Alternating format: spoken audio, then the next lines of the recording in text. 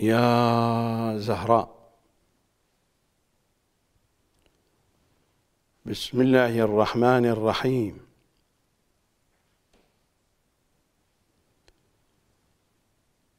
إذا طاف قوم يا أمير المؤمنين. إذا طاف قوم بالمشاعر والصفا. فقبرك ركني طائفا ومشاعري.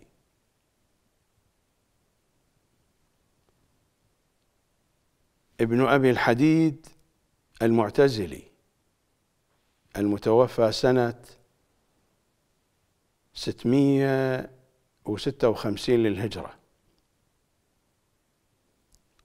عبد الحميد المدائني البغدادي. المعتزلي.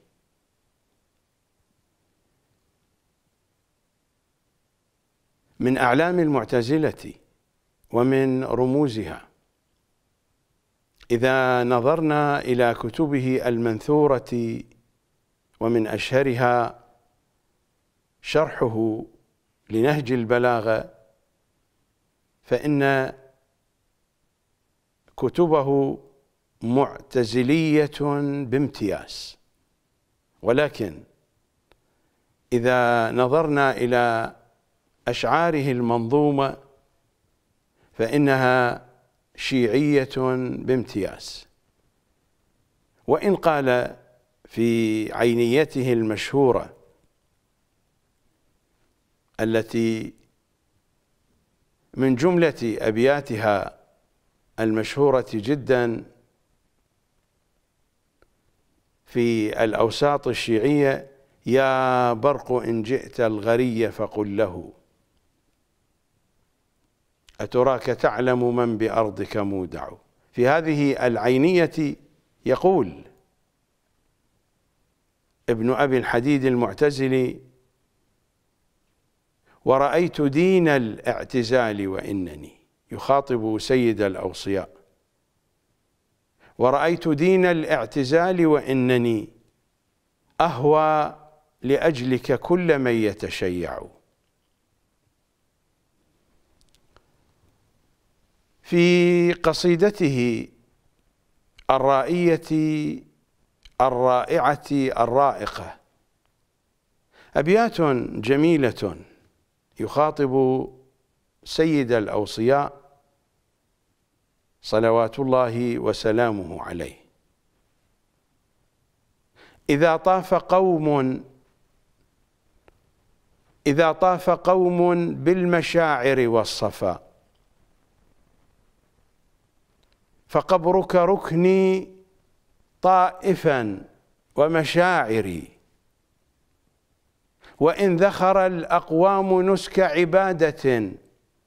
فحبك أوفى عدتي وذخائري. وإن صام ناس في الهواجر حسبة الحسبة هي القربة. والهواجر إنها أيام القيض الشديدة الحر. وإن صام ناس في الهواجر حسبة فمدحك أسنى من صيام الهواجر. وأعلم أني إن أطعت غوايتي فحبك أنسي في بطون الحفائر. فوالله لا أقلعت عن لهو صبوتي صبوتي غرامي وعشقي وهيامي. ولا سمع اللاحون. اللاحون اللائمون العاذلون فوالله لا أقلعت عن لهو صبوتي ولا سمع اللاحون يوما معاذري. إذا كنت للنيران في الحشر قاسما وإنك لكذلك يا أمير المؤمنين. الذي لا يعتقد بهذا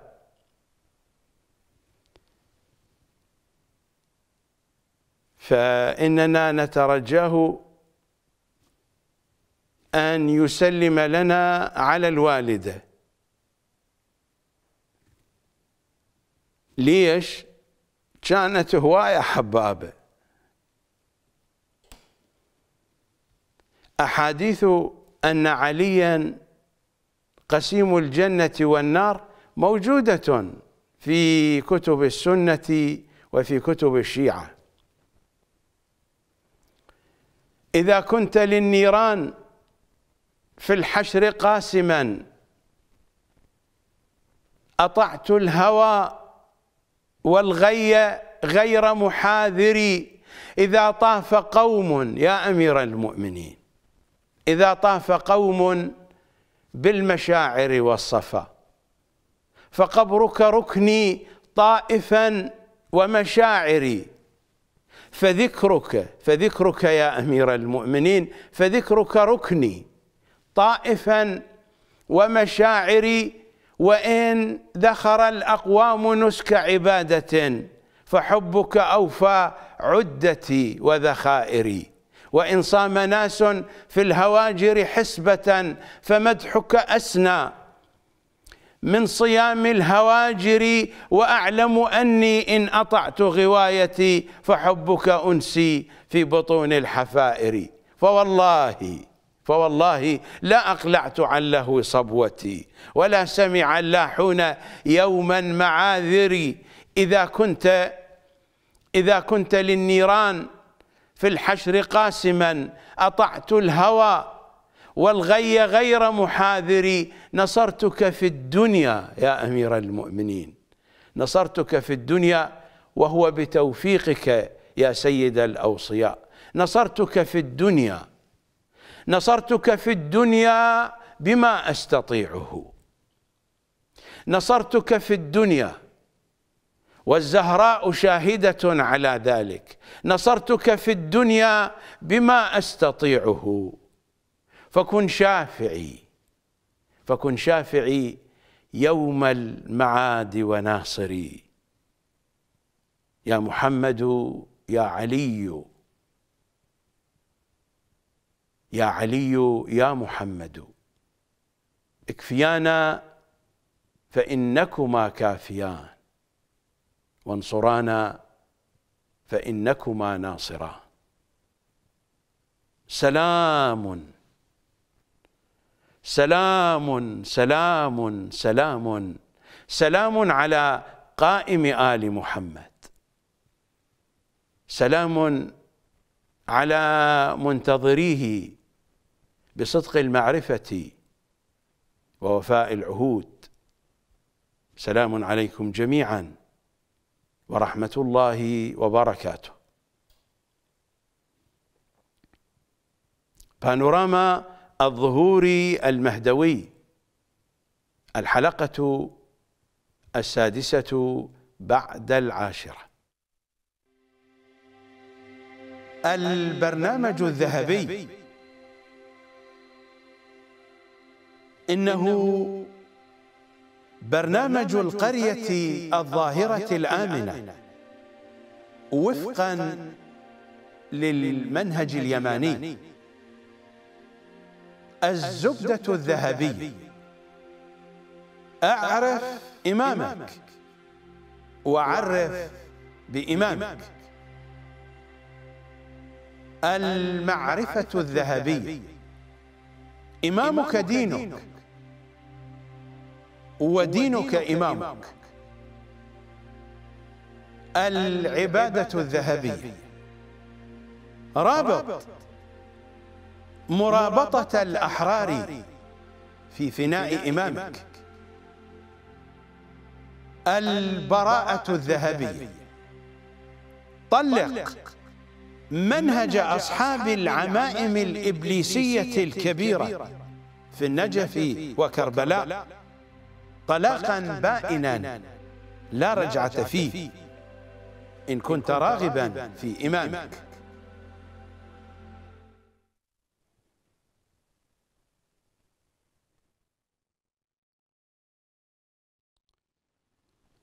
حدثتكم في الحلقات الماضية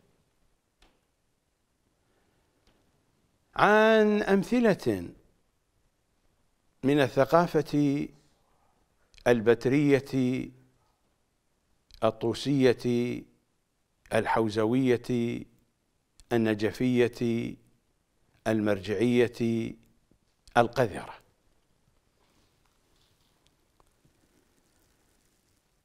لا أريد أن أعيد كلام هؤلاء البتريين الأرجاس. وهم ينتقصون من شأن رسول الله والصديقة الكبرى. إنهم ينكرون من سفاهتهم وسخفهم وانحطاطهم وسقوطهم وجهالتهم وغبائهم. ينكرون الولاية التشريعية لمحمد وآل محمد. ومثل ما قلت لكم في الحلقة الماضية الولاية التشريعية شأن من شؤون ولايتهم الإلهية الكلية المطلقة. الولاية التشريعية تقع في حاشية حاشية حاشية ولايتهم الإلهية الكلية المطلقة المحيطة بكل شيء. آيات القرآن شاهدة على ذلك. أحاديثهم رواياتهم زياراتهم أدعيتهم. لست في مقام الخوض في هذا الموضوع. تحدثت عنه مرارا وكرارا فيما سلف في برامجي المتنوعة. وسأتحدث عن هذا الموضوع مرات ومرات في قادم الأيام. إن وفقت لذلك. هؤلاء ينشرون سمومهم وقمامتهم وقذارتهم. أتحدث عن مراجع النجف وكربلاء. هؤلاء يمثلون البرنامج الإبليسي الذي يسعى بكل جهد لتأخير ظهور إمام زماننا. لأن إبليس يخشى ما يخشى يخشى أن يبدأ الوقت المعلوم الذي حدده الله سبحانه وتعالى له. فإن الساعات الأولى من الوقت المعلوم ستبدأ مع الساعات الأولى من يوم الظهور الشريف.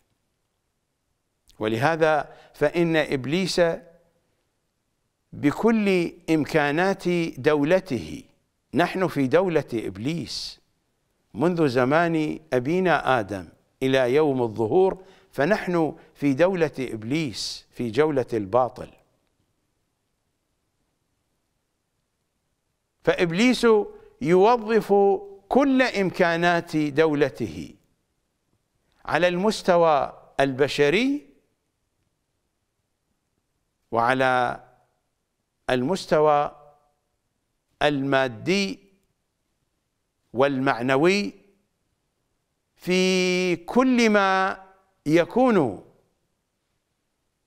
على هذه الأرض ويكون إبليس قادرا على التصرف فيه. إنه يوظف كل ذلك لتأخير ظهور إمام زماننا ولذا فإنه اهتم اهتماما كبيرا بصناعته للبتريين. ومر الحديث عن الصناعة الإبليسية الشيطانية بامتياز إنهم البتريون البتريون في النجف.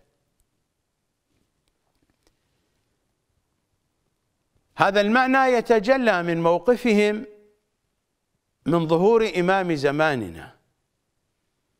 إن دين جدك في خير إنهم صنعوا دينا إبليسيا بديلا قدموه للناس. فارجع من حيث جئت لا حاجة لنا بك. هذا هو المنطق الذي يتكلمون به. فهذا الأنوك القزم اللكع أسيحيق في جوابه على سؤال السائل عن الولاية التشريعية للزهراء صلوات الله عليها. هكذا أجاب بنفس هذا المنطق.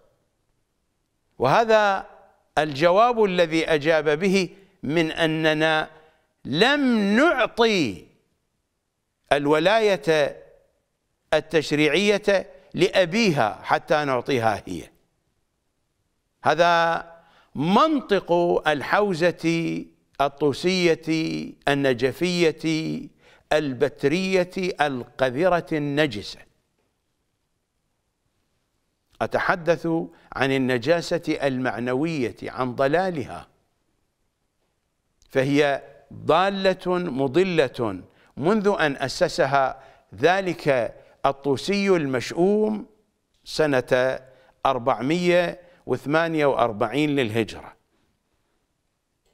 لا أريد أن أتشعب في هذا الحديث إنما أريد أن أضع لقطة زهرائية بين أيديكم.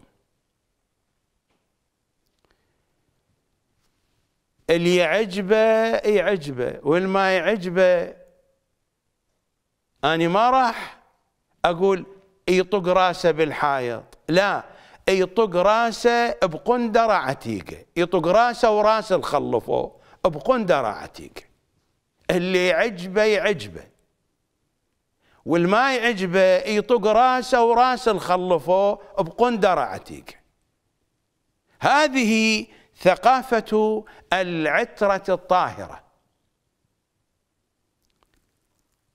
هذا حديثهم وهذا قرآنهم. مصادر ثقافة قناة القمر قرآن محمد وآل محمد بتفسيرهم وحديث محمد وآل محمد بتفهيمهم. هكذا نقرأ في الزيارة الجامعة الكبيرة. إنها دستورنا العقائدي. إنها القول البليغ الكامل. نقرأ في هذه الزيارة الشريفة وأنا أقرأ عليكم من مفاتيح الجنان. للمحدث القمي. وذل كل شيء لكم. وذل كل شيء لكم. هذا القانون ليس فيه من استثناء.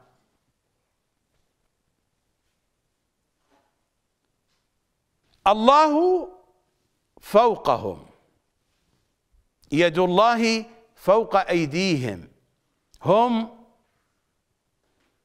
يد الله الباسطة. قرأت عليكم في الحلقة الماضية من الزيارة السادسة من مجموعة الزيارات المطلقة التي ذكرها المحدث عباس القمي في مفاتيح الجنان. نسلم على أمير المؤمنين في الزيارة المطلقة السادسة. نسلم عليه من أنه يد الله الباسطة ويده الباسطة. هذه اليد الباسطة ليس فوقها إلا يد الله. يد الله فوق أيديهم. وهذه اليد فوق كل شيء. وذل كل شيء لكم. التشريع شيء. التشريع شيء. إنه شأن من شؤون التكوين. التشريع انعكاس عن التكوين.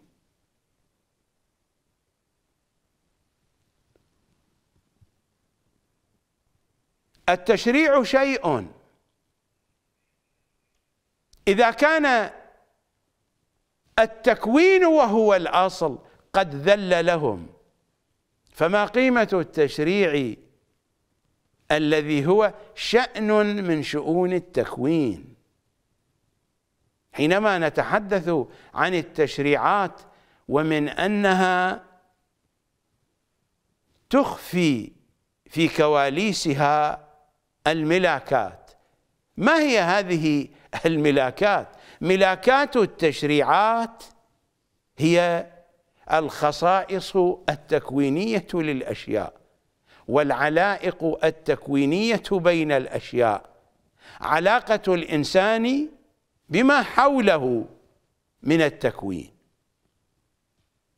وفقا لهذه العلائق والروابط والتأثيرات ما يصدر من تأثير من قبل الإنسان. موجها إلى التكوينيات وما يصدر من التكوينيات من تأثير موجه إلى الإنسان.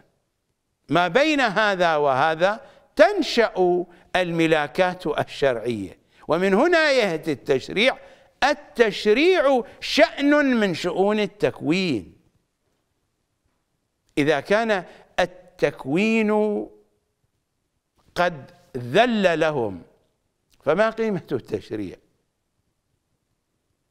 الولاية التشريعية لمحمد وآل محمد تقع في حاشية حاشية حاشية ولايتهم الكلية الإلهية المطلقة. وهذه العبارة تشير تشير إلى ولايتهم الإلهية الكلية المطلقة. وذل كل شيء لكم. العبارة واضحة وصريحة جدا ولا تحتاج إلى كثير جهد لفهمها ومعرفة مقصودها. ذل كل شيء لكم. لا يوجد شيء إلا وقد ذل له الله سبحانه وتعالى هو الذي أعزهم وهو الذي أذل الأشياء لهم. والقرآن داخل في هذه القاعدة. القرآن شيء. القرآن شيء. وذل كل شيء لكم. ذل لهم كان دونهم. فالقرآن مظهر من مظاهرهم. المظاهر مراتبها أدون من الأصل. ذو المظاهر هو الأصل. المظاهر تجليات منه من ذي المظاهر. فالمظاهر دون الأصل لأن المظاهر فروع والفروع دون الأصول. وهذا منطق القرآن. هذا ما هو منطقي. هذا القرآن بين أيدينا. إنها سورة الزخرف.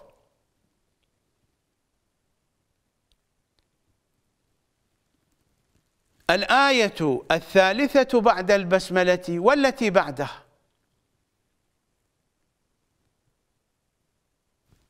إِنَّا جعلناه قرآنا عربيا لعلكم تعقلون. هذا هو القرآن الذي نتحدث عنه.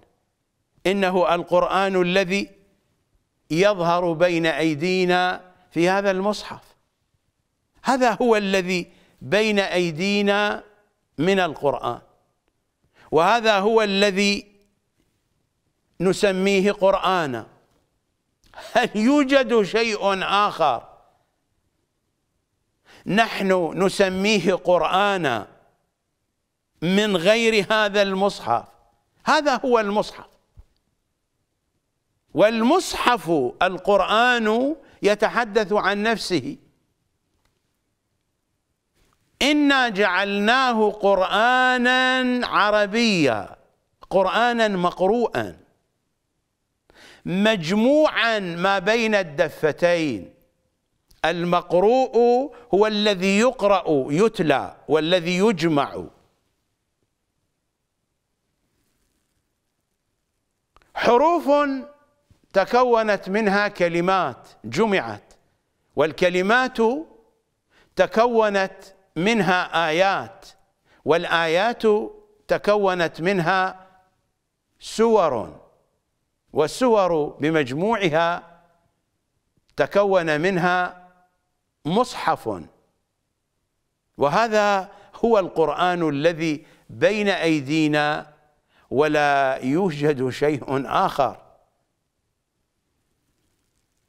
إنا جعلناه قرآنا عربيا. لعلكم تعقلون. هذا مظهر. مظهر لفظي. وإنما ظهر القرآن لنا بهذا المظهر اللفظي لأجل هذه الغاية. لعلكم تعقلون. لعلكم تعقلون. دققوا النظر في الآية إنها واضحة جدا. إنا جعلناه قرآنا عربيا. لماذا؟ لعلكم تعقلون. الآية التي بعدها وإنه وإنه الضمير يعود على القرآن. وإنه الضمير يعود على القرآن. السياق يقتضي ذلك. قواعد الأدب العربي تقتضي ذلك فإن الضمير يعود على الأقرب.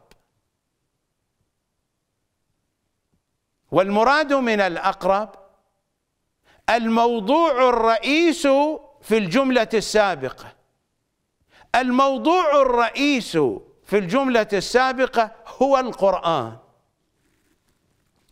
إنا جعلناه قرآنا عربيا. ماذا جاء في الآية التي بعد هذه الآية؟ وإنه وإن القرآن وإنه في أم الكتاب لدينا لعلي حكيم. وإنه في أم الكتاب لدينا لعلي حكيم. هذا هو القرآن في أصله.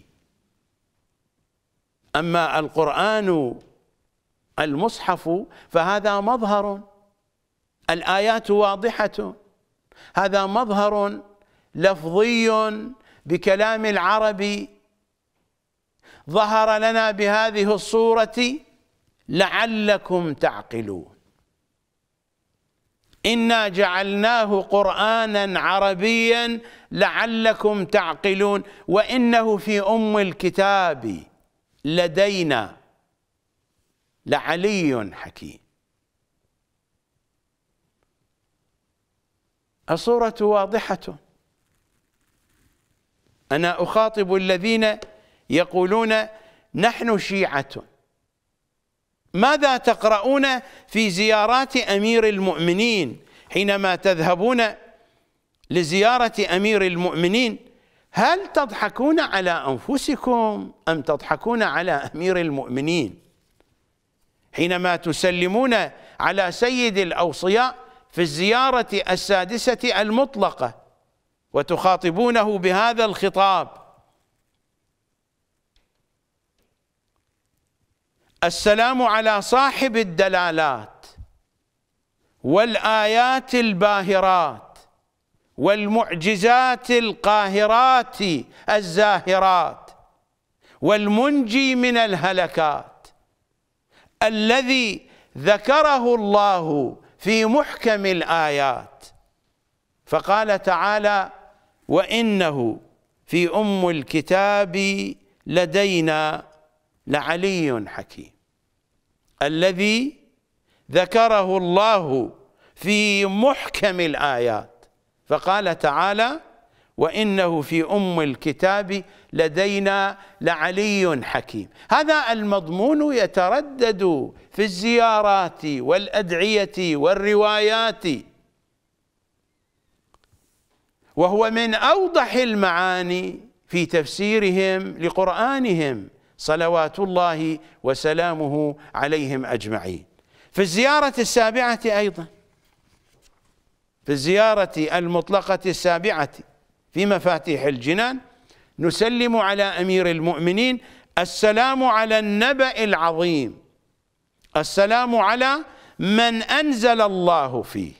هذه خاصة بعلي. السلام على من أنزل الله فيه وإنه في أم الكتاب لدينا لعلي حكيم. تخاطبون إمام زمانكم. إذا كنتم تقرؤون دعاء الندبه هل تضحكون على إمام زمانكم؟ وأنتم تخاطبونه. يا ابن الصراط المستقيم. علي الصراط المستقيم علي. وهذا عنوان حقيقي بلسان الحقيقة. هناك مجموعة الأسماء الحقيقية لعلي بن أبي طالب. في أول سورة من سور القرآن يشرق هذا الاسم في سورة الفاتحة في مركزها في وسط سورة الفاتحة يشرق هذا الاسم الحقيقي ليس مجازا. هذا اسم حقيقي لعلي بن أبي طالب. لا يشاركه فيه أحد. هو عنوان لمحمد وآل محمد. لكن المقامات لها خصوصيات. هذا العنوان بالأصالة لعلي بن أبي طالب. هكذا نخاطب إمام زماننا. يا ابن الصراط المستقيم يا ابن النبأ العظيم يا ابن من هو في أم الكتاب. لدى الله علي حكيم. زيارات الأئمة أدعية الأئمة أحاديث الأئمة تفسير الأئمة واضح. في أن القرآن يتحدث عن علي عن أمير المؤمنين. فهناك المظاهر وهناك ذو المظاهر. إنا جعلناه قرانا عربيا. هذا مظهر. عملية جعل. عملية الجعل هي عملية تجل عملية تمظهر. إنا جعلناه جعلا. هو ليس كذلك. هذا مظهر. الأصل هنا وإنه في أم الكتاب لدينا لعلي حكيم. هذا هو الأصل. أما هذا الجعل فهذا تجل. ولذا في ثقافة العترة الطاهرة هذا الكتاب الصامت وعلي الكتاب الناطق. هذا الكتاب الصامت والحجة ابن الحسن العسكري الكتاب الناطق. هذا منطق القرآن. أنا لا أريد أن أطيل الوقوف كثيرا عند هذه الجهات الحلقة ليست مختصة ببيان هذا الموضوع إنما هي لقطة من ثقافة قناة القمر حتى تقارنوا بين الثقافة القذرة لمراجع النجف وكربلاء وبين ثقافة العترة الطاهرة التي تأتيكم عبر هذه الشاشة إنها ومضة خاطفة. إنها لقطة عابرة.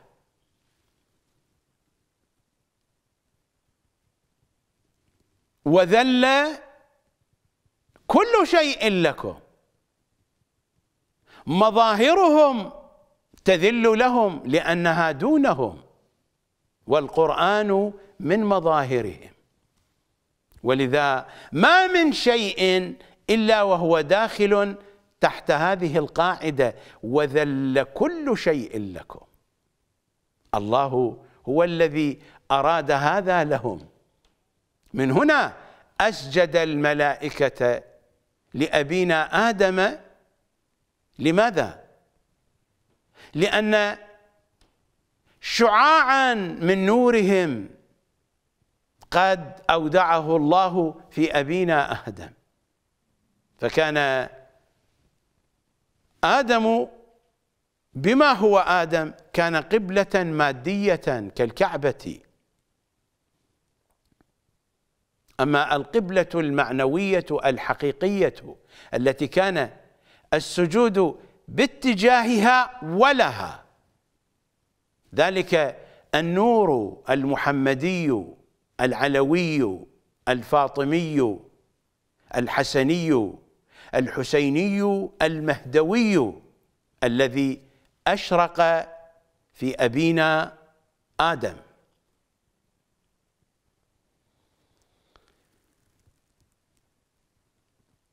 هكذا نقرأ في دعاء كميل. هذا الدعاء تقرأه الشيعة دائما لكنهم لا يفقهون معناه.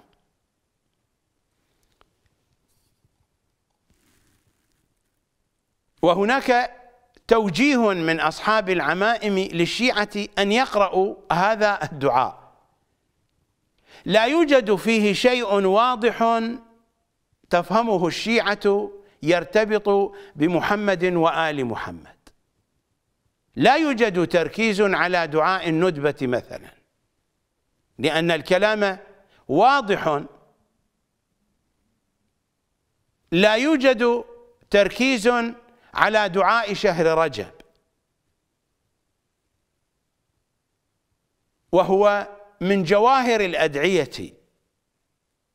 وجاءنا مرويا عن إمام زماننا صلوات الله عليه.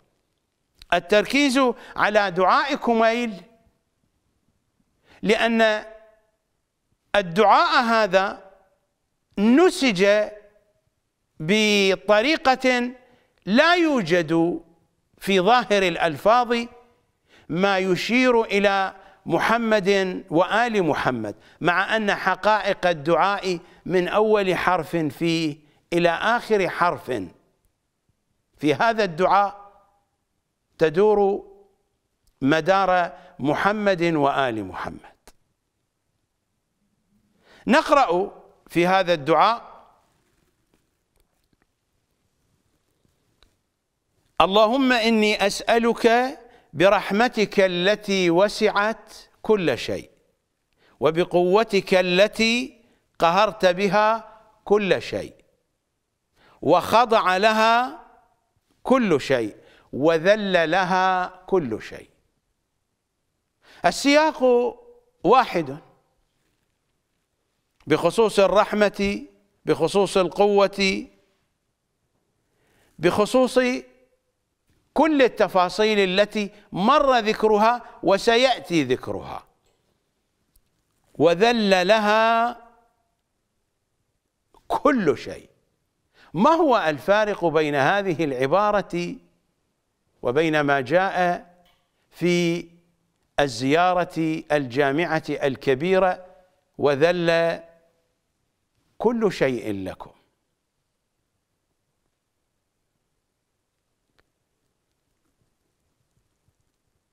ويستمر الدعاء إلى أن يقول وبأسمائك التي ملأت أركان كل شيء.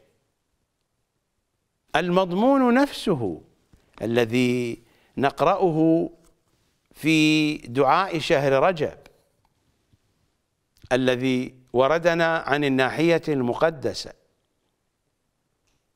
فبهم بمحمد وآل محمد فبهم ملأت سماءك وأرضك حتى ظهر أن لا إله إلا أنت.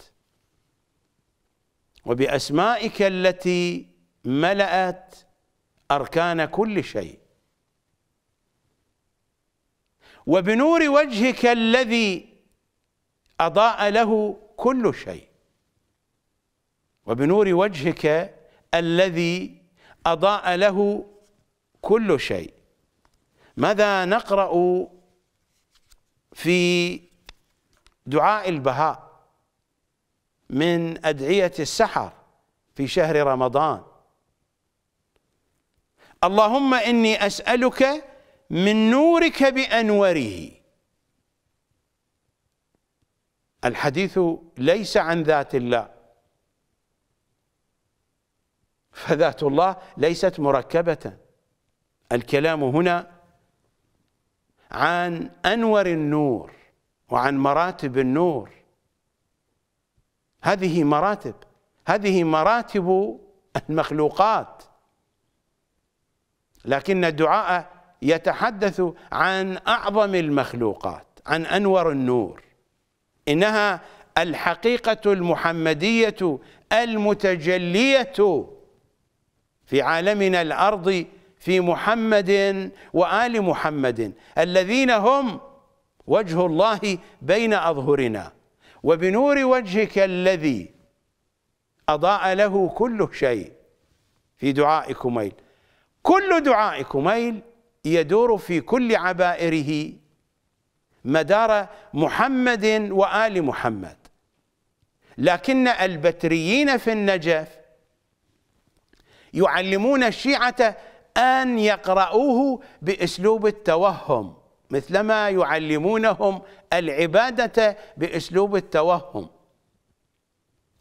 أئمتنا يقولون صلوات الله عليهم من عبد الله بالتوهم فقد كفر.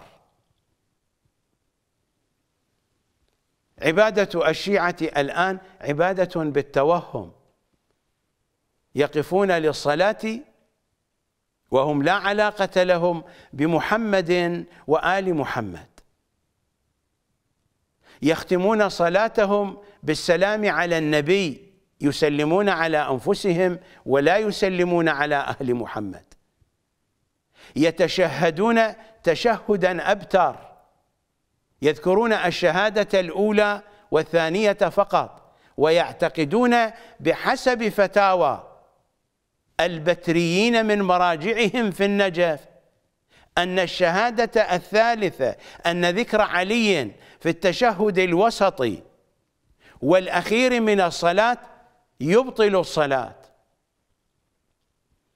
يقفون باتجاه الكعبة وهم يتوهمون الله. الأئمة يقولون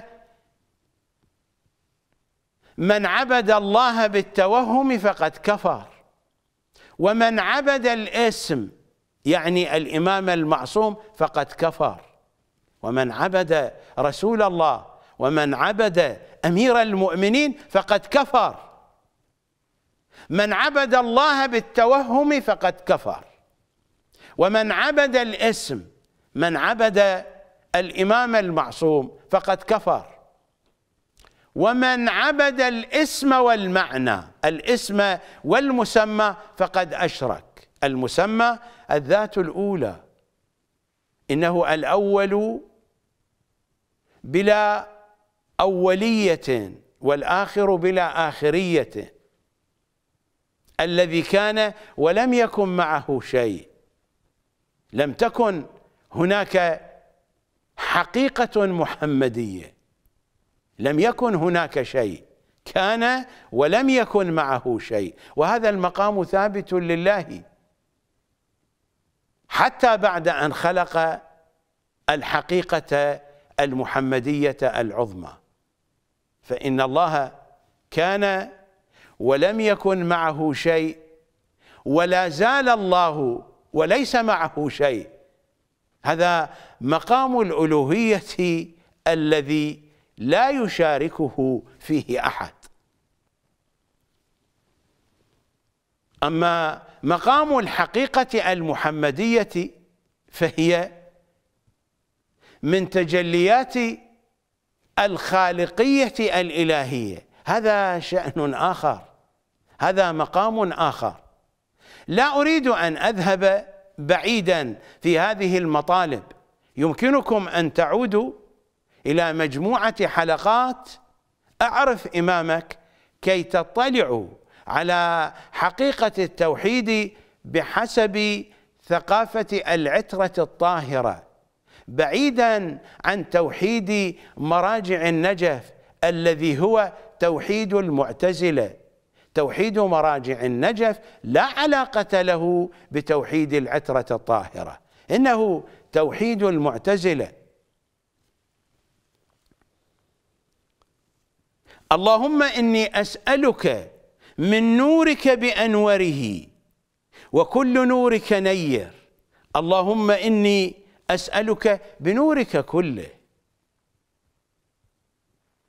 مراتب النور لا تتعلق بذات الله لأن الذات الإلهية ليس فيها من مراتب. إذا قلنا بأن الدعاء هذا يرتبط بالذات الإلهية. جعلنا الذات الإلهية مركبة.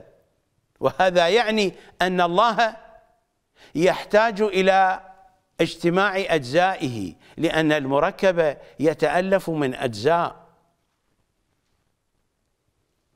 فهذا الدعاء يتحدث عن مراتب. المراتب ما هي من شأن الذات الأولى؟ المراتب من شأن تجلياته من شأن مظاهره من شأن مخلوقاته.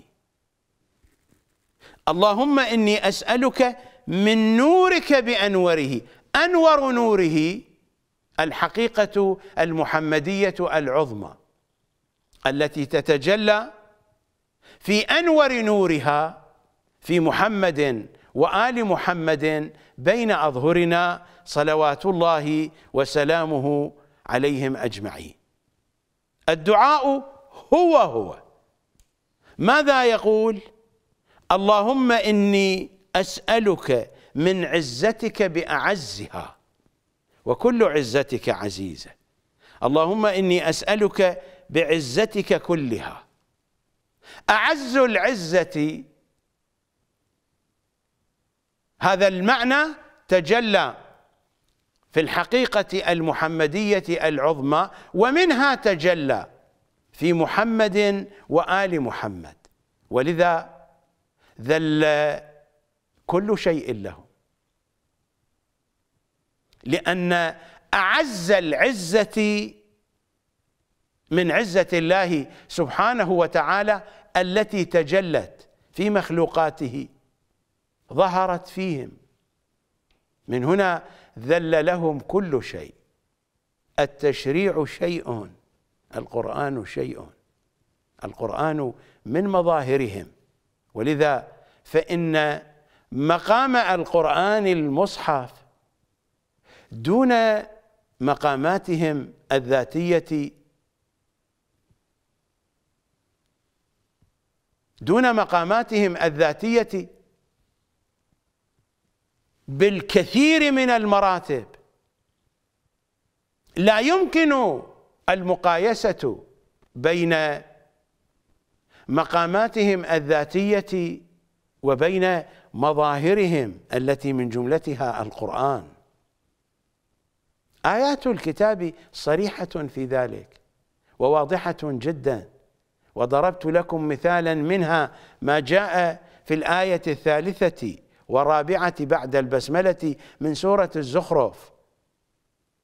لو كنت في مقام التفصيل والتطويل لأخذتكم في جولة في آيات الكتاب الكريم بخصوص هذا الموضوع.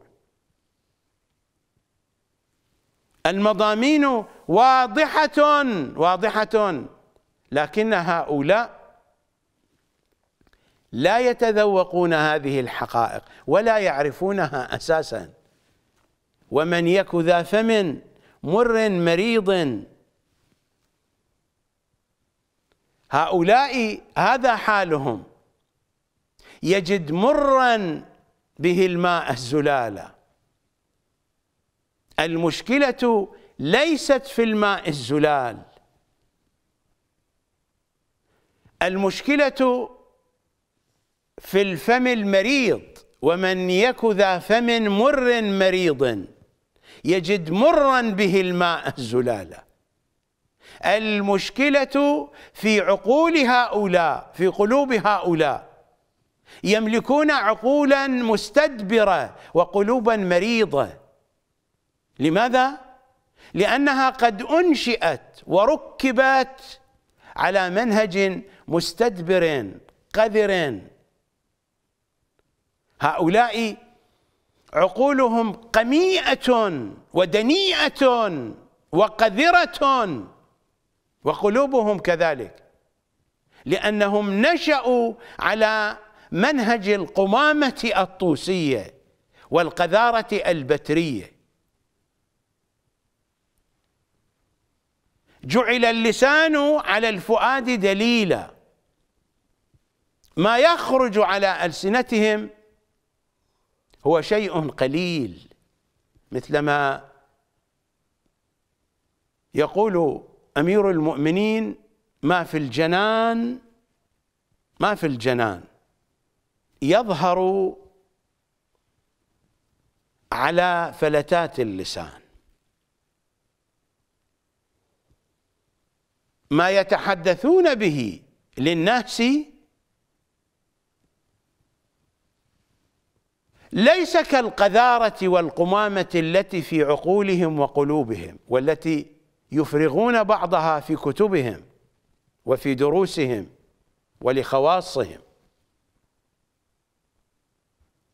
هذا هو الفارق بين الثقافة البترية التي تأخذونها من فضائيات مراجع النجف وكربلاء من الفضائيات السيستانية الشيرازية ومن سائر الفضائيات الأخرى. وبين الثقافة التي تأخذونها من قناة القمر. وهذا ما هو بادعاء بإمكانكم أن تتابعوا القنوات وأن تقارنوا فيما بينها وأن تصلوا إلى النتيجة عبر احترامكم لعقولكم. فهل تبقون بتريين؟ أم أنكم تنتفضون على واقعكم؟ أتحدث عن انتفاضة عقلية؟ لا أتحدث عن انتفاضة في الشارع. أتحدث عن انتفاضة قلبية عن تصحيح للعقائد وعن تغيير للمسار البتري إلى المسار الزهرائي المهدوي. نذهب إلى فاصل. السلام على صاحب الدلالات والآيات الباهرات. والمعجزات القاهرات والمنجي من الهلكات الذي ذكره الله في محكم الآيات. فقال تعالى وإنه في أم الكتاب. لدينا لعلي حكيم. السلام على اسم الله الذي ووجه المذيق وجنب العليم ورحمة الله وبركاته.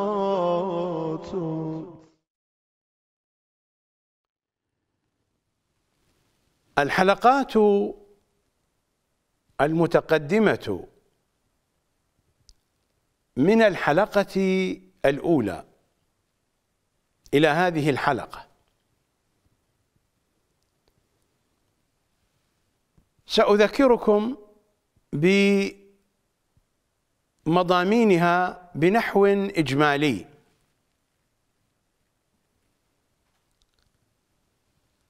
الحلقة الأولى من حلقات هذا البرنامج كانت حلقة تعريفية بالبرنامج. من الحلقة الثانية إلى هذه الساعة إلى الحلقة السادسة بعد العاشرة. كل الذي تقدم يمثل إطارا عاما لبانوراما الظهور. حدثتكم عن مرحلة الإرهاصات وبنحو وجيز. حدثتكم عن مرحلة العلامات الحتمية وبنحو وجيز أيضا. وحدثتكم عن مرحلة مقدمات الظهور وبنحو وجيز أيضا. ثم نقلت الحديث إلى موضوع صناعة الزهرائيين وصناعة البتريين. هذا الموضوع حساس جدا. يرتبط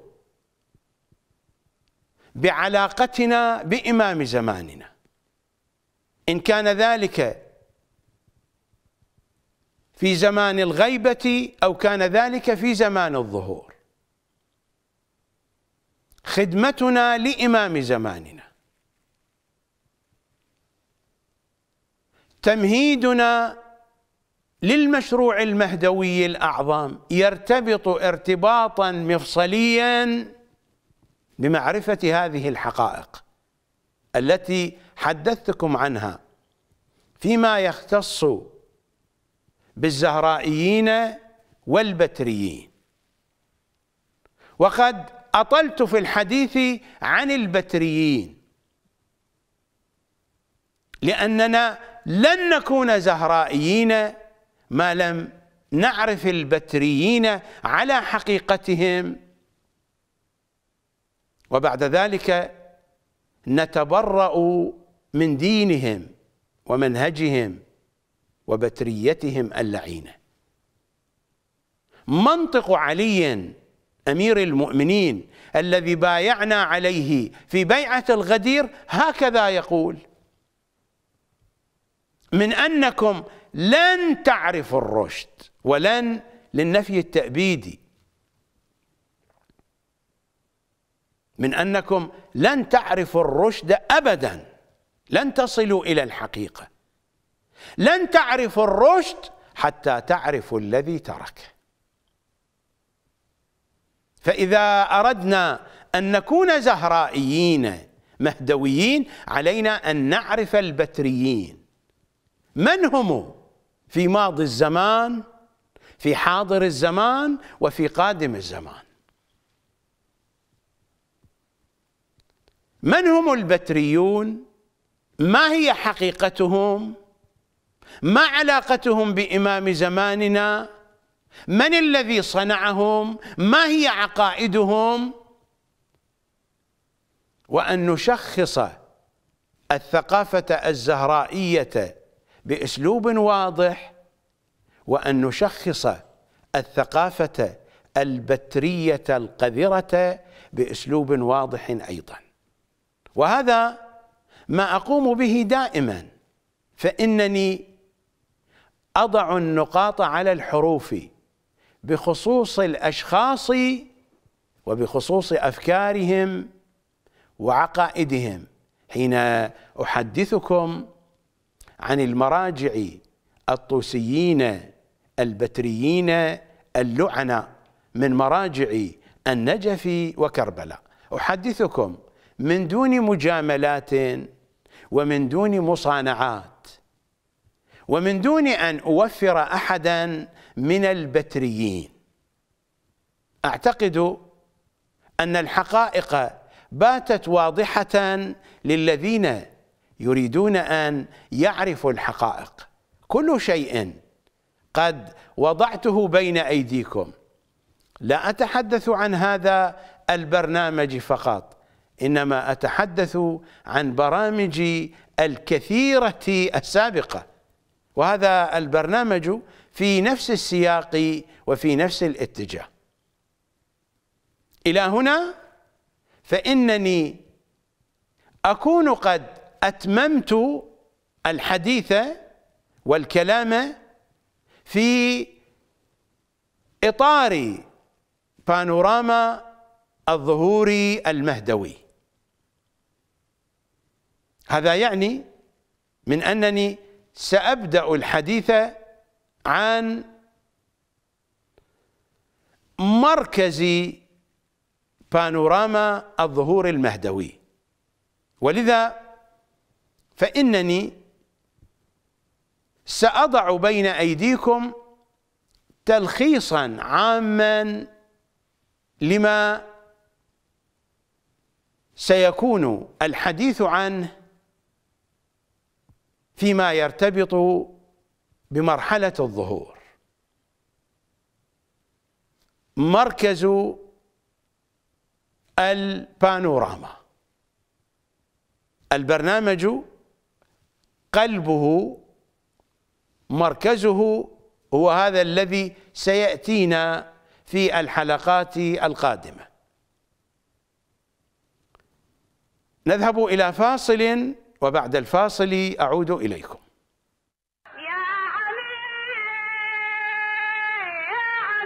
نشأتك حكمة وإحنا بالحكمة تدينا. وش رأيت نهج انفرشت حجور الولاية وبيها على الفطرة رضينا من ساعة قالوا بلا مواليك يا عقد الولا واللي ضدك ضدنا والأملنا محققين تدرينا ما نختلف تدرينا إن شاء الله ما نختلف. حيين ميتين سيدي تحضرنا. تدرينا ما نختلف تدرينا منك إلك مو أجناس. بالآخرة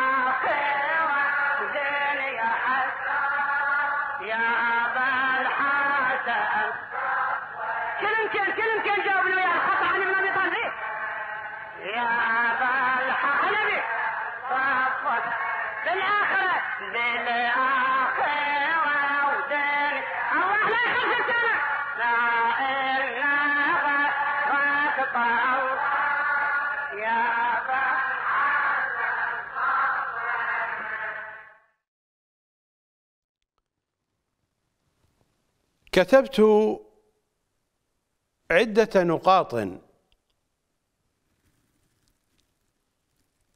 أحاول أن أضع بين أيديكم خلاصة وجيزة لمرحلة الظهور ولو في حدود العناوين. كي تمتلكون فكرة عن هذا الموضوع. في البداية أقول أولا مرحلة الظهور هي الأهم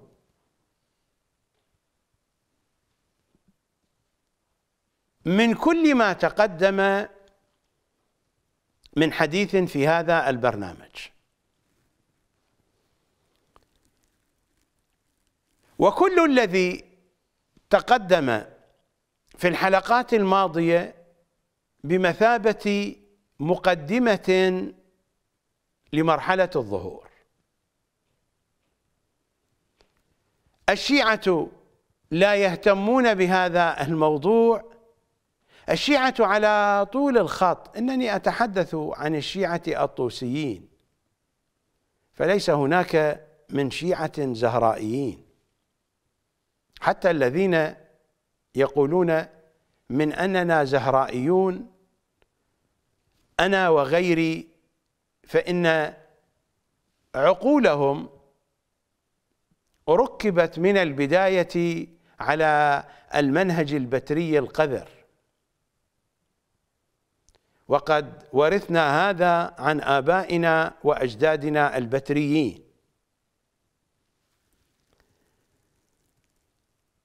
على أي حال مشكلة الشيعة على طول الخط في ترتيب قائمة الأولويات.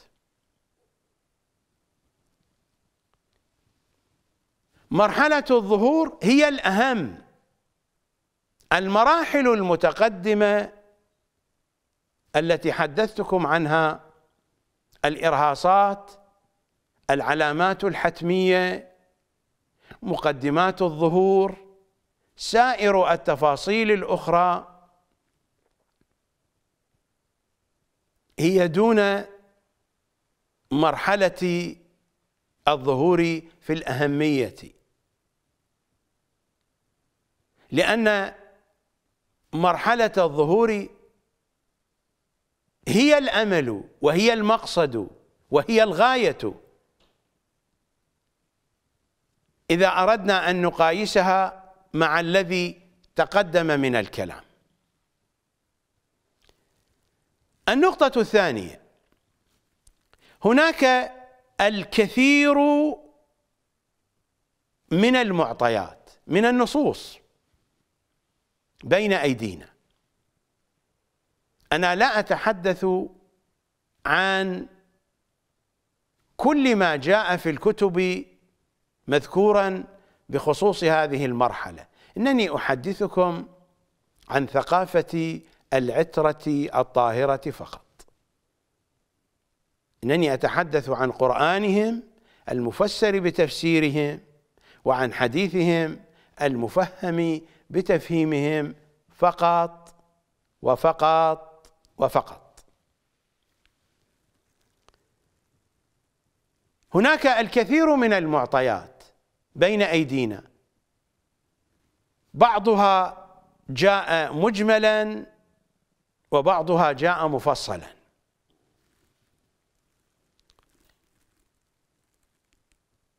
الأحداث والوقائع التي ذكرت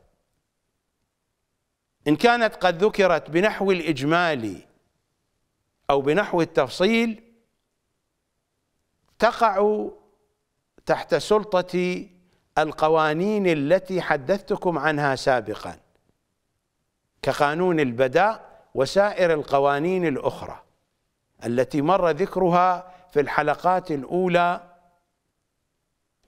من هذا البرنامج.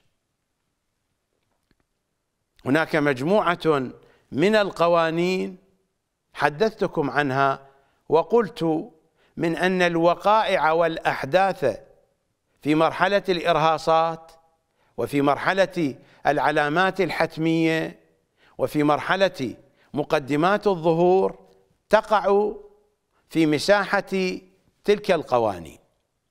الأمر هو هو.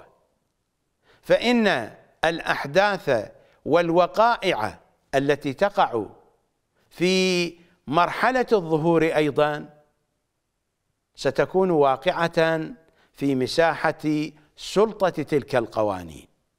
لكن القوانين هذه في مرحلة الظهور ستجري بنحو يختلف اختلافا كبيرا عما كانت عليه في المراحل المتقدمة.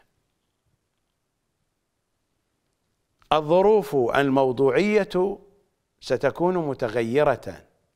ومن هنا فإن القوانين هذه ستتغير أيضا بحسب التغيرات الموجودة والحاصلة على أرض الواقع.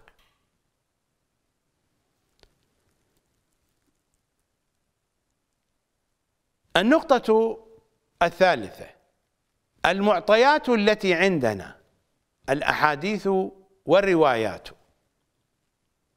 منها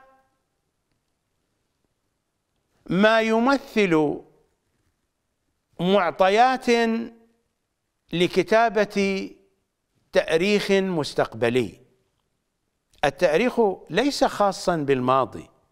يمكننا أن نؤرخ للماضي ويمكننا أن نؤرخ للحاضر ويمكننا أن نؤرخ للمستقبل. التأريخ هو رصد الأحداث والوقائع وضبطها وفقا للتقويم الزماني. فقد يكون التقويم الزماني للماضي وقد يكون للحاضر. وقد يكون للمستقبل. وإن كان الشائع من أن التاريخ يكون للماضي لسبب أن الأحداث قد وقعت. فمن السهل أن تكتب ومن السهل أن تسجل. أحداث الحاضر يخاف الناس من أن يثبتوها في الكتب يخافون من نشرها وتدوينها وإلا فإن التاريخ ليس منحصرا بالماضي. التاريخ كما قلت لكم هو رصد الأحداث والوقائع وضبطها وفقا للتقويم الزماني. قد يكون هذا للماضي وقد يكون للحاضر وقد يكون للمستقبل. أضرب لكم أمثلة من عناوين بعض الكتب. الجزء الثالث من موسوعة الإمام المهدي لمحمد الصدر. ما هو عنوان الجزء الثالث؟ تأريخ ما بعد الظهور. إنه تأريخ للمستقبل. هناك مؤرخ عراقي معاصر عبد المجيد القيسي كتب كتابا في تأريخ العراق الحديث. عنونه التأريخ يكتب غدا. أتذكر أنني قرأت في بداية الثمانينات ترجمة لنبوءات نوسترادامس إنه المتنبئ الفرنسي المشهور. كتابه القرون في التنبؤات. قرأت ترجمة عربية له عنوان الترجمة حدث غدا. أتذكر هذا في الثمانينات وربما بعدها. حدث غدا. التأريخ يكتب غدا. تأريخ ما بعد الظهور. هذه العناوين تخبرنا عن تأريخ مستقبلي. التأريخ يمكن أن يكون للماضي ويمكن أن يكون للحاضر ويمكن أن يكون للمستقبل. على أي حال المعطيات المتوفرة لدينا منها ما نستطيع أن نشكل من خلالها تاريخا مستقبليا للوقائع التي ستقع في قادم الأيام. ومنها ما يمكننا أن نرسم من خلالها صورة تخبرنا عن التغير الهائل للحياة على وجه الأرض.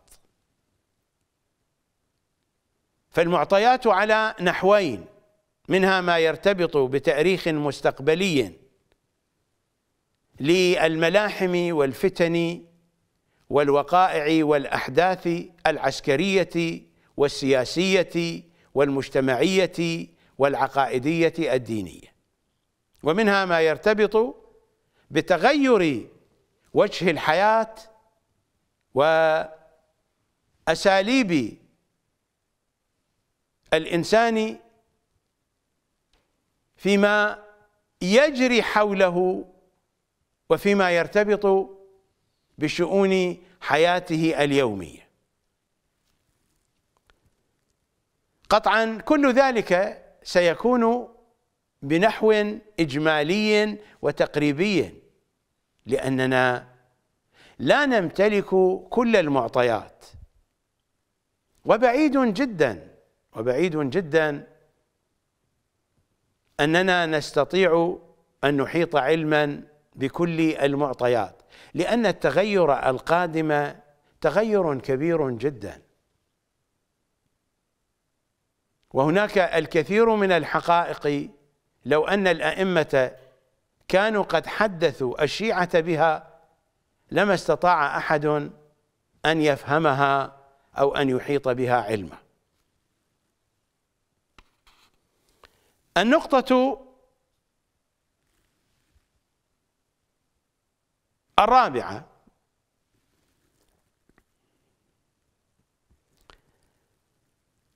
سيكون حديثي في هذا البرنامج عن مرحلة الظهور في مسارين.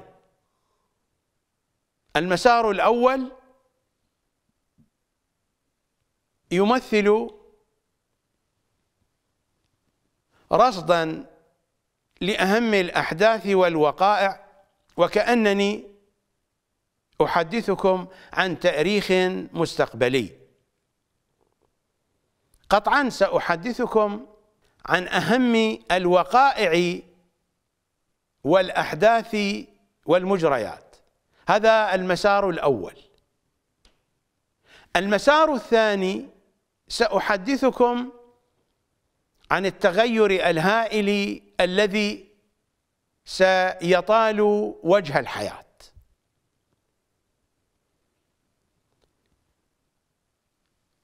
هذان المساران لا وجود لهما على أرض الواقع. الحياة ستتحرك في مسار واحد والأحداث ستكون متداخلة من الجهة الزمانية والمكانية. مثلما تجري الأمور في حياتنا اليوم. لكن التغير سيطال كل شيء. إنما أجعل حديثي في مسارين. هذا أمر اعتباري أمر فني. يرتبط بحرفية البحث لأجل تسهيل المطالب على المتلقي. وإلا فإن المسار مسار واحد وهذه الأمور التي ترتبط بالأحداث والوقائع والملاحم. وكذلك ما يجري من تطور في الحياة وتغير شامل في كل شؤونها هذه الأمور ستكون متداخلة. زمانا ومكانا. مثلما تجري الأمور في حياتنا اليوم. هناك مسار واحد للحياة. وفي هذا المسار هناك اتجاهات مختلفة كثيرة. لكنها تتداخل فيما بينها زمانا ومكانا. بحسب كل واقعة أو بحسب كل شأن من شؤون التغير والتطور في أمور الحياة. نذهب إلى فاصل. فهرسة سريعة للموضوعات التي سأتناولها في الحلقات القادمة. فيما يرتبط بالمسار الأول والذي هو المسار التاريخي المستقبلي. سيكون الحديث عن الظهور في مكة. هناك وقائع اليوم الأول. وهناك الحديث عن الخسف عن الخسف بجيش السفياني. وهناك الحديث عن بني شيبة. أحداث مكة. أحداث مكة حينما يكون الإمام فيها وبعد أن يخرج منها. فهناك أحداث ستقع في مكة. كذلك سأحدثكم عن المدينة عن مدينة النبي صلى الله عليه وآله وأبرز ما يجري في المدينة فتنة المدينة. فتنة المدينة حينما يخرج إمام زماننا أبا بكر وعمر جسدين طريين من قبريهما. فتنة المدينة. وسيكون حديث عن قرقيسياء إنها واقعة قرقيسياء سأحدثكم أيضا عن المحاكمة العالمية.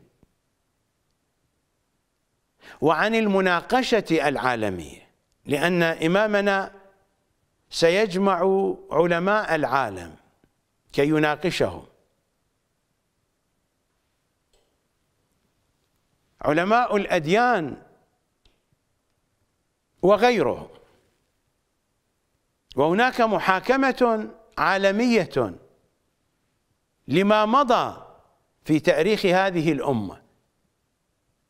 هذا كلام مفصل سيأتي في حينه. الطريق إلى العراق ومجريات الطريق إلى العراق. الوصول إلى العراق. البتريون الخوارج. هذه مجموعة أخرى. هناك البتريون اللعناء وهم مراجع النجف وكربلاء وهناك الخوارج مجموعة أخرى. الكوفة وما يجري فيها الكثير من التفاصيل.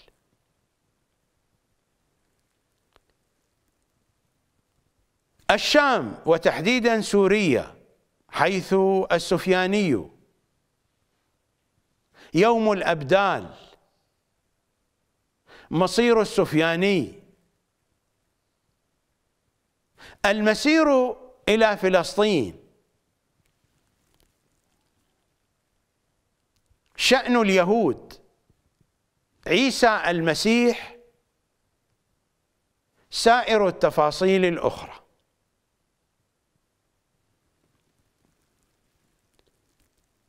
مصر. موقع مصر. في البرنامج المهدوي. وضمنا يأتي الكلام عن علاقة مصر عن علاقة المصريين بأمير المؤمنين صلوات الله وسلامه عليه.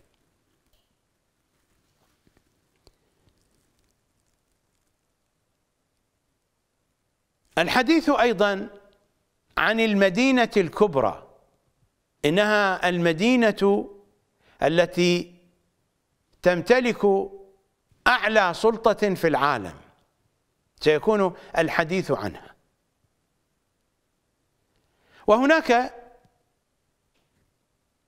التفاصيل الصغيرة التي سيأتي ذكرها ضمن هذه العناوين. قطعا هذه العناوين هي العناوين الأهم. أنا لا أستطيع أن أتناول كل ما ذكر في الروايات والأحاديث. فهذا سيضطرني أن أجعل البرنامج طويلا وطويلا جدا وأنا لا أريد أن أفعل ذلك. لا أريد أن أفعل ذلك لأمرين. الأمر الأول كي يكون المتابع قادرا على أن يتابع البرنامج بسهولة. والأمر الثاني لست بمزاج صحي مناسب. اذا هذه العناوين التي سأعرضها بين أيديكم في المسار الأول وتلاحظون أن العناوين تشكل خارطة تأريخية لواقع مستقبلي حاولت أن أرتبها ضمن تقويم زماني مناسب. كل هذا بنحو تقريبي. وكل البيان سيكون اجماليا. لأنني لا أستطيع أن أفصل في كل شيء. إلا أنني سأعرض لكم بانوراما مثلما عنونت البرنامج. إنها بانوراما الظهور المهدوي. نذهب إلى فاصل.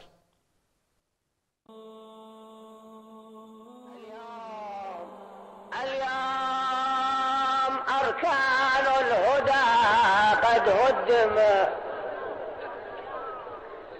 اليوم شمل المسلمين موزع اليوم قد قتل ابن عم المصطفى.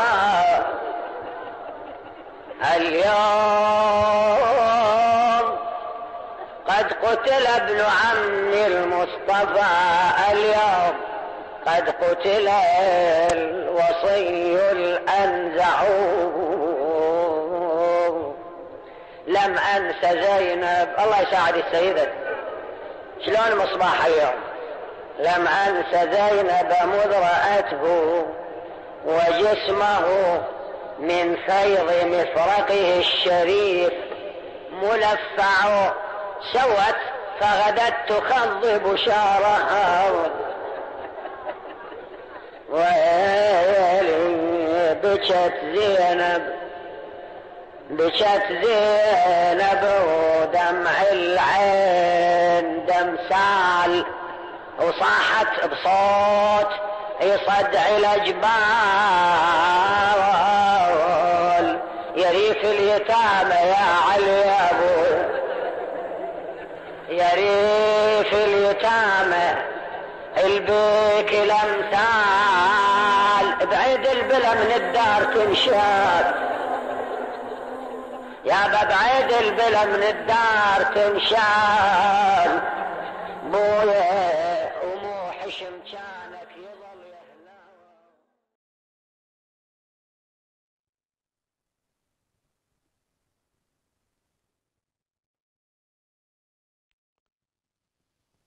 تم الكلام بنحو سريع وموجز في المسار الأول.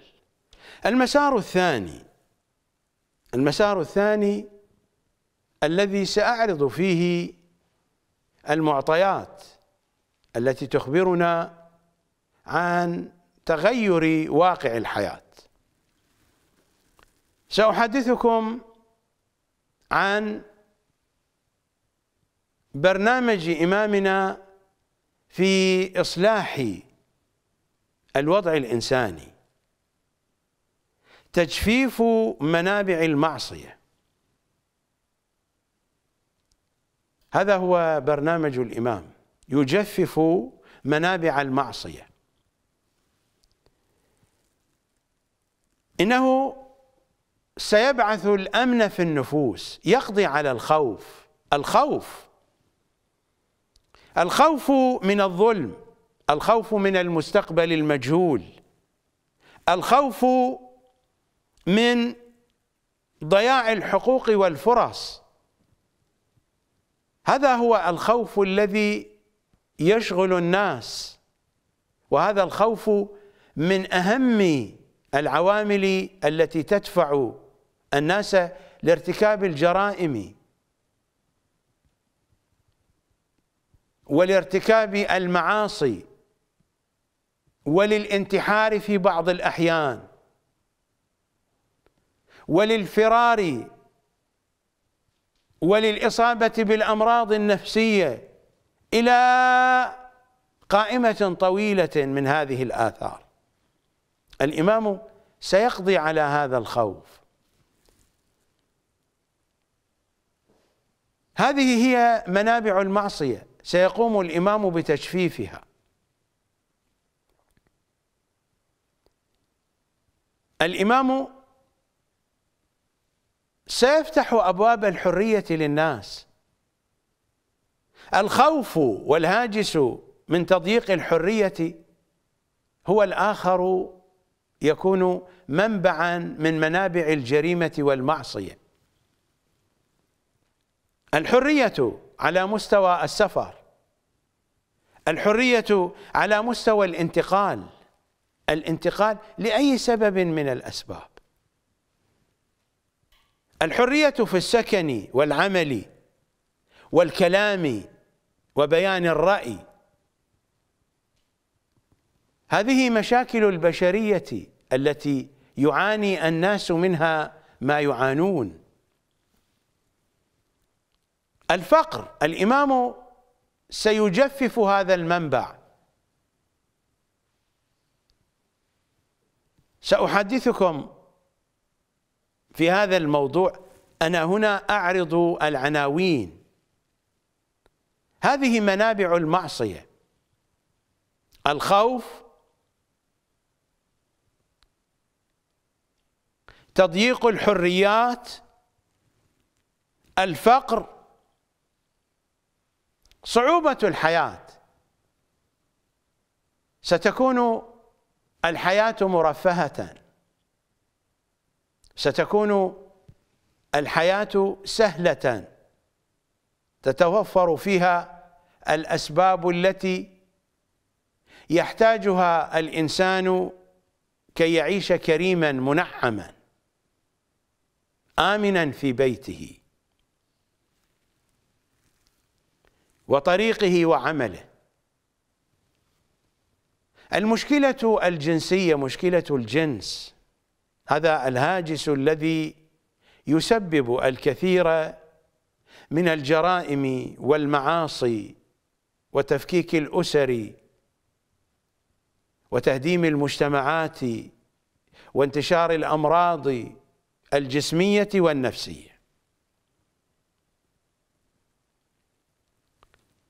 القضاء على البرنامج الإبليسي هذه هي منابع المعصية. الجهل تجفيف هذا المنبع عبر تطوير العقل ونشر العلم.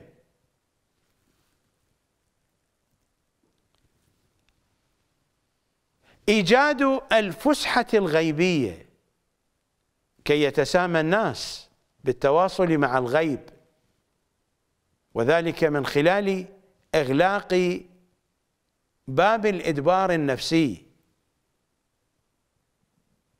الإدبار والجفاء والغلظة. هذه العناوين لها أسبابها. حينما تجفف المنابع التي تكون هذه العناوين فإن الإنسان ستتحقق له الفسحة الغيبية. هذا هو برنامج إمام زماننا في إصلاح الواقع الإنساني عبر تجفيف منابع المعصية عبر تجفيف منابع الجريمة. سأحدثكم عن الكتاب الجديد عن الأمر الجديد عن المثال المستأنف. هذه العناوين التي تحدثت عنها أحاديث الثقافة المهدوية. العقل الحكمة العلم الأخلاق اللغة الآداب والفنون هذه العناوين ستكون حاضرة. ومن أول يوم في البرنامج المهدوي. هذا ما هو بشيء أتخيله؟ الروايات والنصوص والأحاديث هي التي أخبرتنا عن ذلك. العقل الحكمة العلم الأخلاق اللغة الآداب والفنون. هل يستطيع الإنسان أن يكون إنسانا متحضرا؟ أن يكون إنسانا مثقفا؟ أن يكون إنسانا متعلما؟ أن يكون إنسانا واعيا؟ أن يكون إنسانا هادفا؟ أن يكون إنسانا متدينا؟ أن يكون إنسانا حكيما؟ من دون هذه العناوين من دون أن تكون هذه العناوين حاكمة في واقع الحياة. رابعا سأحدثكم عن الصحة عن صحة الإنسان. وهذا موضوع يرتبط بالبيئة أيضا عن الصحة وعن طبائع الأشياء والحيوانات ستتغير هذه الطبائع. حتى ورد في أحاديثهم من أن الناس سيستغنون بنور الإمام عن نور الشمس.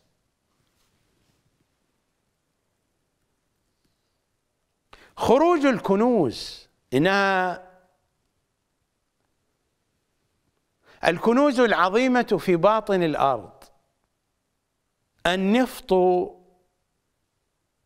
لا يمثل شيئا بالقياس للكنوز التي سيخرجها الإمام من باطن الأرض. هذا الذي يعبر عنه بالذهب الأسود. النفط الذي عليه مدار الحياة في العالم الآن. سوف لا يكون شيئا بالقياس إلى الكنوز التي سيخرجها الإمام من باطن الأرض.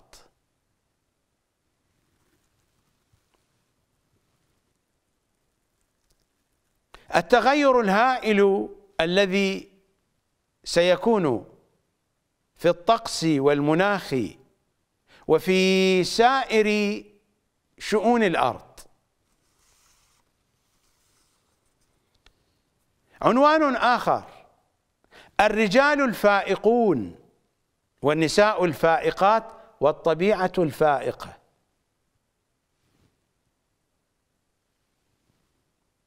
هذا العنوان الشائع في زماننا. سوبرمان. سيكون العنوان سوبر هيومن.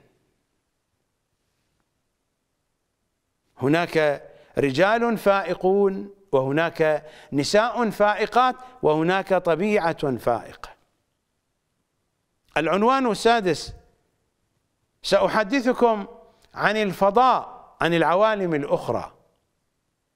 في الزمن المهدوي سأحدثكم عن الملأ الأعلى وعن الملائكة. وما هو موقع الملائكة؟ في الزمن المهدوي. هذا الكلام عن الفضاء وعن الملأ الأعلى سيقودنا للحديث عن تغير الزمان. وإذا ما تغير الزمان فإن الكثير من شؤون الحياة سيتغير. سأحدثكم عن التقنيات المتطورة جدا. سأحدثكم عن رجعة الحسيني لأنها ستكون في العصر المهدوي. أتحدث عن مقدمات الرجعة الحسينية. وسأحدثكم عن المهديين الاثني عشر. فكل هذا يمثل جزءا من مرحلة الظهور. وسأكون مضطرا للحديث عن الرجعتين عن الرجعة العجيبة والرجعة العظيمة بنحو إجمالي. الرجعة العجيبة من شؤون مرحلة الظهور لكن الرجعة العظيمة مرحلة ستكون بداياتها عند نهاية العصر القائمي. سأحدثكم عن منظومة العلاقات فيما بين الإنسان والحيوانات فيما بين الإنسان والطبيعة فيما بين الإنسان والإنسان. فيما بين الإنسان وسائر دواب السماء. هناك دواب في الأرض وهناك دواب في السماء. سأحدثكم عن الملائكة. الملائكة ليسوا جزءا من دواب السماء. دواب السماء كائنات أعدادها هائلة جدا. أمم شعوب أصناف من المخلوقات تعيش في هذا الفضاء الواسع. سأحدثكم عن العلاقة بمحمد وآل محمد صلوات الله عليه. زبدة الكلام من كل ذلك زبدة الكلام حول مرحلة الظهور.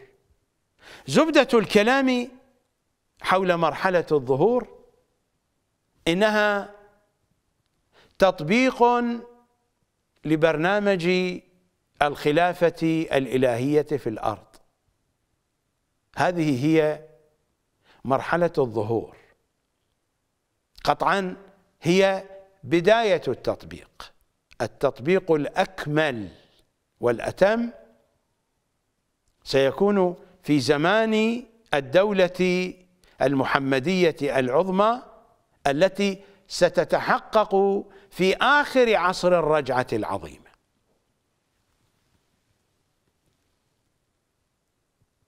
كل هذه العناوين كل هذه المعطيات وكل التفاصيل التي سأوردها لكم تشكل جانبا من الحقيقة الكاملة. الحقيقة الكاملة ليست بأيدينا. لكننا نستطيع من خلال هذه المعطيات أن نتحسس على البعد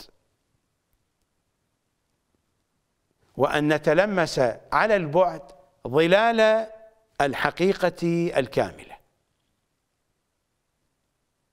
نذهب إلى فاصل. إنني قد لخصت لكم ما يرتبط بمرحلة الظهور في هذه البانوراما التي يتناولها هذا البرنامج. لخصت ذلك لكم قلت ربما هناك كثيرون منكم لا يملكون اطلاعا على هذه العناوين وعلى هذه المفردات ولم يكونوا قد سمعوا بها. وقد لا يجدون وقتا كافيا كي يتابعوا الحلقات المتبقية من هذا البرنامج التي ستشتمل على هذه الموضوعات. أتمنى عليكم أمرين. الأمر الأول أن تدركوا أهمية معرفة مرحلة الظهور. والأمر الثاني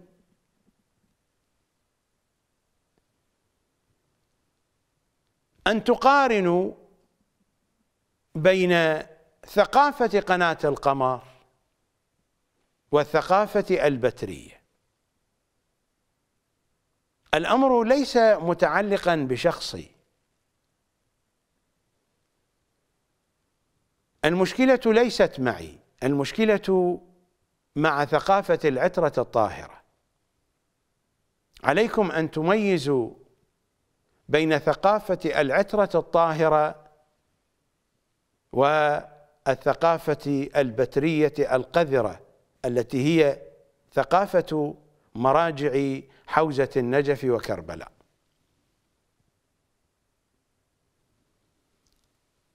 أذكر نفسي وأذكركم في آخر الحلقة وقد أوشكت الحلقة على النهاية. أذكر نفسي وأذكركم. هذه الليالي ليالي القدر. في رواياتنا وأحاديثنا من أن الذي يوفق لليلة القدر هو الذي يكون موفقا لمعرفة فاطمة صلوات الله عليها.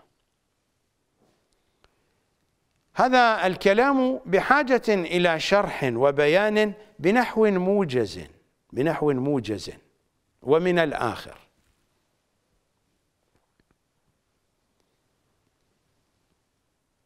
يوم القدر هو اليوم الأول من سنة محمد وآل محمد من سنة إمام زماننا.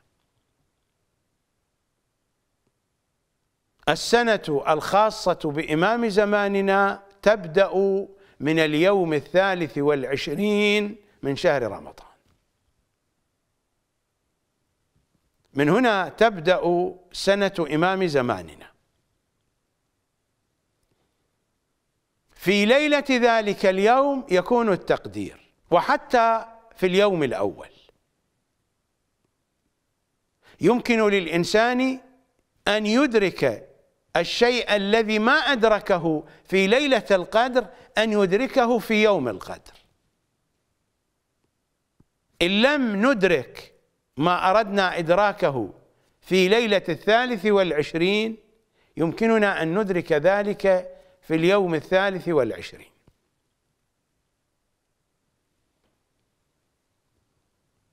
إن لم تكن يا أيها الشيعي عارفا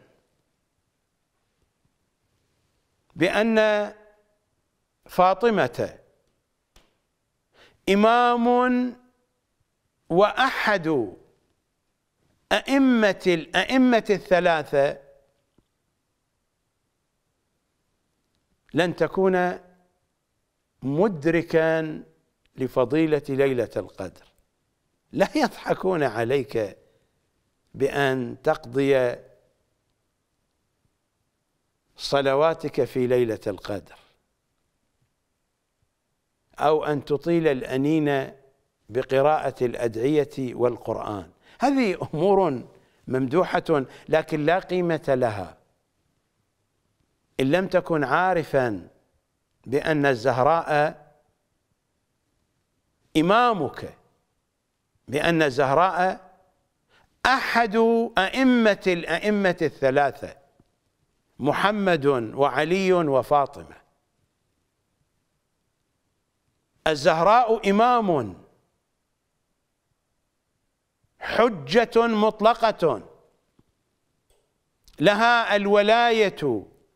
الإلهية الكلية المطلقة. لا كما يتحدث هؤلاء البتريون اللعناء.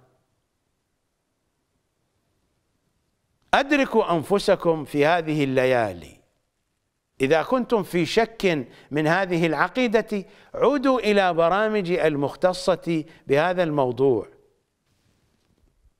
وانتفعوا منها. لا لأنها برامج لأنها حقائق ثقافة العترة الطاهرة. معرفة فاطمة بوابتها من هنا. أن نعتقد بإمامتها المطلقة بحجيتها المطلقة بولايتها الإلهية الكلية المطلقة. فإن الله يرضى لرضاها ويغضب لغضبها. لا يضحكون عليكم أصحاب العمائم يقولون لكم من أن الأحاديث وردت في الوالدين أيضا بأن الله يرضى لرضاهما ويغضب لغضبهما وبأن الأحاديث وردت في أناس آخرين. هذا ضحك على الذقون. هذه الأحاديث وردت. لكنها بحسب الوالدين. إذا وردت بخصوص الأنصار في المدينة بحسب الأنصار. ما هم الأنصار؟ ارتدوا بعد ذلك. وارتداد المسلمين مثبت في كتب الشيعة والسنة في صحيح البخاري ومسلم. من أن الصحابة رجعوا القهقرة إلى جاهليتهم هذا موجود في صحيح البخاري وفي صحيح مسلم.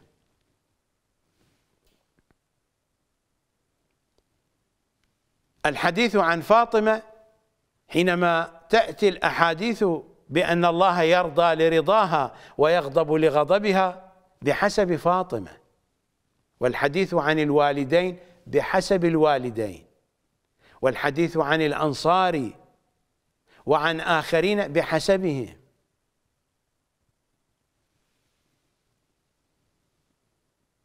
فاطمة هي القيمة على الدين وعلى أهل الدين. وذلك دين القيمة.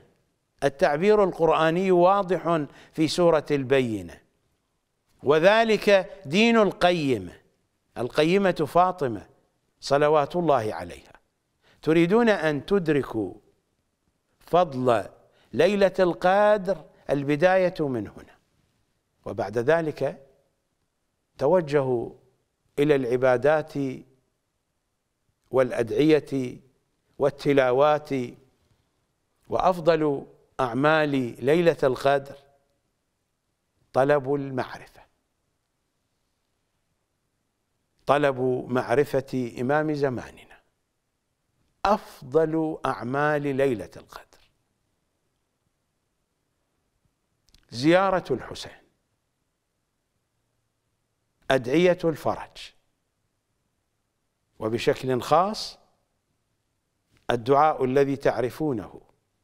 اللهم كن لوليك الحجة ابن الحسن. الدعاء المعروف.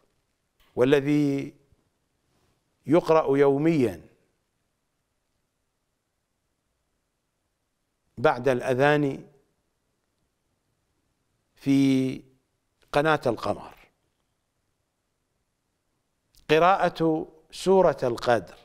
هناك قائمة طويلة من الأعمال والعبادات يمكنكم أن تجدوها في مفاتيح الجنان وفي الكتب المختصة بهذا الموضوع. لكن هذا لا معنى له من دون البوابة والإجازة وجواز الدخول. هذا المعنى لا بد أن يعيش في عقولكم وقلوبكم. من أن فاطمة إمام الأئمة حجة مطلقة من أنها آية الله العظمى. وليس أولئك المسخرة. آية الله العظمى فاطمة وآل فاطمة. وليس أولئك المسخرة.